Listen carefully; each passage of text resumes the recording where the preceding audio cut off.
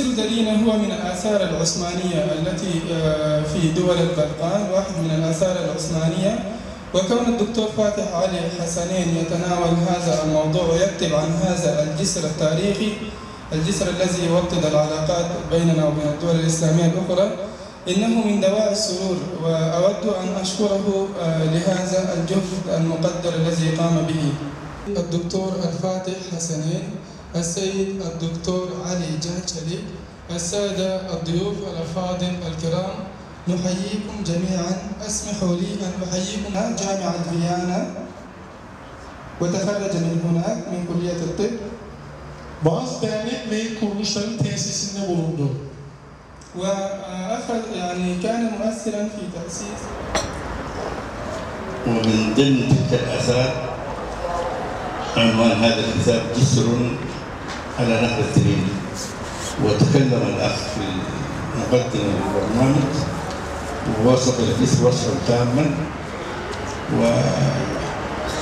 وأضيف فقط أن هذا الجسر طوله حوالي 246 متر.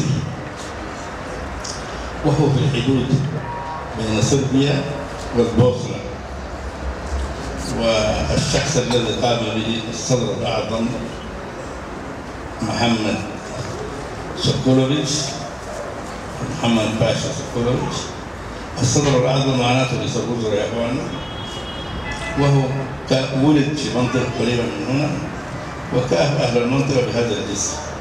والجسر هذا كان رابطة قوية جدا جدا بين الضفتين بين الدرينة وبعد قيامه انتعشت أوضاع المسلمين في تلك المنطقة وعدوا على السر.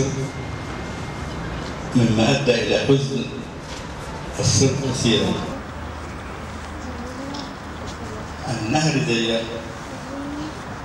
يعني حفظ وهو تمام تاريخ المسلمين في المنطقة ال- النهر هذا يستمر هو بينبع من حتة اسمها الجبل الأسود أو مونتينيغرو ويذهب بين صربيا والبوسنة ويمر بمدينة اسمها ورث الجيش اليوغوسلافي وهو رابع جيش في أوروبا